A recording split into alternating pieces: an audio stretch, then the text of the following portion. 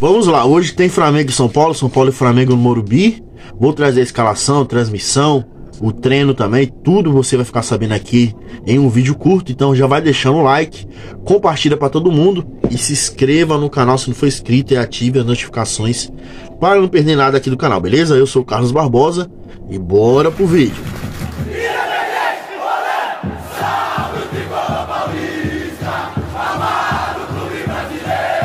Então, para você que entrou neste vídeo para saber onde vai passar o jogo, o jogo vai ser transmitido exclusivamente no Premiere, beleza? Você também pode assistir no barra Fute barra Max, beleza?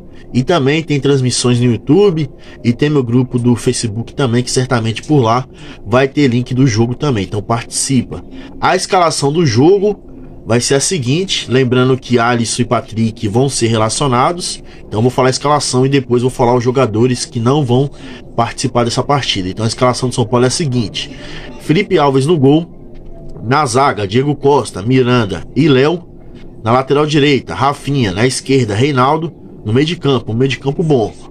Pablo Maia, Galopo, Nicão e Thales Costa. Pablo Maia tem que voltar a jogar, mano. Aquele futebol dele não pode ser esquecido, não. Um bom jogador que parou no tempo. E no ataque, Caleri. Então esse é o time do São Paulo para enfrentar o Flamengo. Já estão de fora dessa partida. É.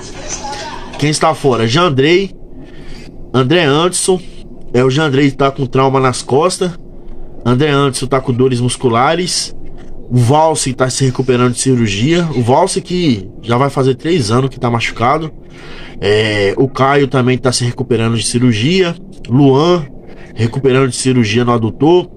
O Arboleda se recuperando de cirurgia no tornozelo esquerdo. Além de Luciano e Luizão suspenso. Pendurados para essa partida estão o André Anderson, o Éder, Igor Vinícius, Pablo Maia e Reinaldo. Então é um jogo importante, o São Paulo tem que ganhar no Morumbi para somar pontos, já vem de algumas partidas sem ganhar, cinco partidas, e é a hora do São Paulo ganhar e se recuperar no Campeonato Brasileiro.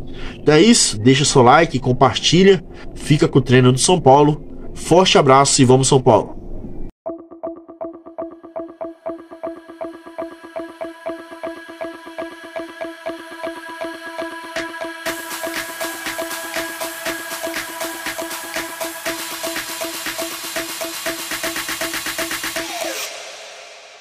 you, you.